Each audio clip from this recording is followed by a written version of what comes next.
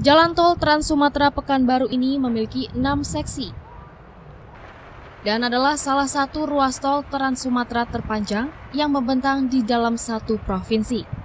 Panjangnya yang mencapai 131 km, menyambungkan wilayah Rumbai di Pekanbaru menuju Dumai yang jarak tempuh biasanya mencapai 195,9 km. Dan ruas jalan tol ini mulai dibangun pada Desember 2016 yang lalu hingga kini. Progres pengerjaannya telah mencapai 48 persen.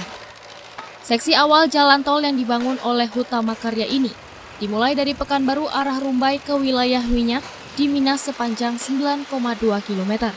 Kemudian bersambung dari Minas ke Petapahan sepanjang 23,6 km. Di seksi 3 dari Petapahan menuju Kandis Utara sepanjang 17,45 km. Tiba di Kandis Utara, tol Pekanbaru Dumai menyisakan tiga seksi lagi atau 81,23 km lagi menuju Dumai. Seksi 4 dimulai dari Kandis Utara menuju Duri Selatan sepanjang 28,95 km, disambung 27,23 km lagi dari seksi 5 menuju seksi 6 di Duri Utara. Seksi terakhir menyambungkan Duri Utara hingga Dumai sepanjang 25,05 km. Menurut asisten 2 Setda Prof Riau, Mas Peri, Tol Pekanbaru Dumai tidak hanya menjadi harapan baru masyarakat Riau, melainkan harapan Presiden RI Joko Widodo. Tol Pekanbaru Dumai tidak hanya menjadi harapan masyarakat Riau ya, tetapi juga tertumpang harapan Pak Presiden di situ.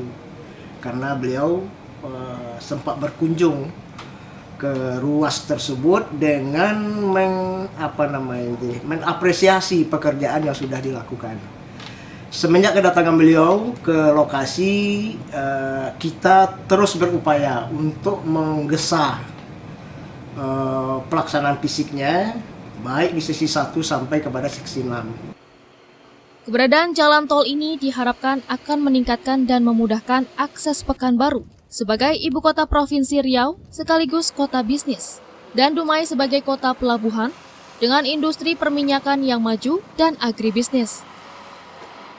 Dari Pekanbaru Riau, Ervan Setiawan, Kantor Berita Antara, mewartakan.